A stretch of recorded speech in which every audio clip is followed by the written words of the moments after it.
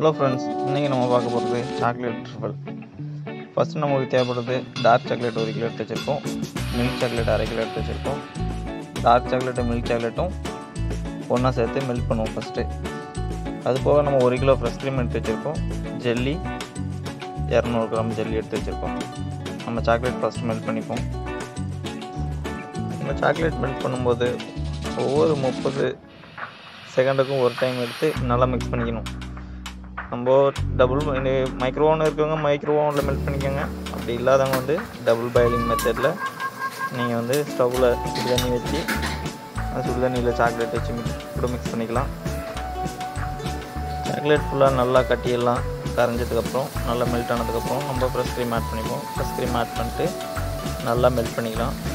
நல்லா மிக்ஸ் பண்ணிவிட்டு அதுக்கப்புறம் மைக்ரோவனில் வச்சு மெல்ட் பண்ணிக்கலாம். நம்ம டார்க் சாக்லேட்டும் மில்க் சாக்லேட் ஏன் எடுத்தோம்னா டார்க் டார்க் சாக்லேட் மட்டும் எடுக்கும்போது ரொம்ப க கசப்பு அதிகமாக இருக்கும். அதனால் மில்க் சாக்லேட் ஆட் பண்ணியிருக்கோம் மில்க் சாக்லேட்டாக ரெண்டும் மிக்ஸ் பண்ணி பண்ணும்போது நல்லாயிருக்கும் டேஸ்ட்டு அதே மாதிரி தான் ஃப்ரெஷ் க்ரீம் ஆட் பண்ணபடி ஒவ்வொரு முப்பது செகண்டுக்கு ஒரு டைம் எடுத்து முப்பது செகண்டு இல்லைங்களா நாற்பது செகண்டு இடையில இடையில எடுத்து எடுத்து நம்ம நல்லா மிக்ஸ் பண்ணிக்கிட்டே இருக்கணும். மிக்ஸ் பண்ணி விட்டுட்டு மெல்ட் பண்ணலாம். சூடு பண்ணி மெல்ட் பண்ணிக்கிட்டே இருக்கணும்.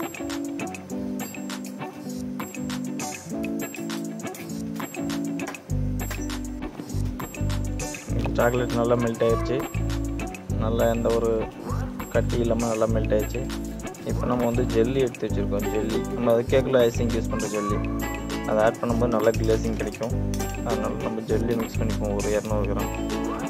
ஜெல்லி மிக்ஸ் பண்ணிட்டு நல்லா மிக்ஸ் பண்ணிவிட்டு நம்ம மீண்டும் சூடு பண்ணிப்போம் நல்லா.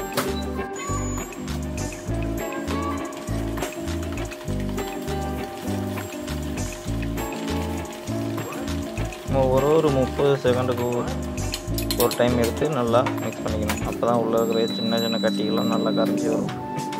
நம்மளுக்கு ஃபைனலாக ரெடியானோடனே நம்ம அதை வந்து ஃபில்ட்ரு பண்ணியிருக்கோம் சின்ன சின்ன கட்டிகளாக இருந்துச்சுன்னா அதில் வந்து நம்ம நல்லா ஃபில்ட்ரு பண்ணி எடுத்துருவோம். ஒரு சூப்பராக நல்லா கிளேசிங் கிடைக்கும். நமக்கு சூப்பரான சாக்லேட் ட்ரிப்பிள் ரெடி ஆச்சு. வீடியோ பார்த்ததுக்கு நன்றி. பிடிச்சிருந்தால் லைக் பண்ணுங்கள் சப்ஸ்கிரைப் பண்ணுங்கள் தேங்க்ஸ் ஃபார் வாட்சிங்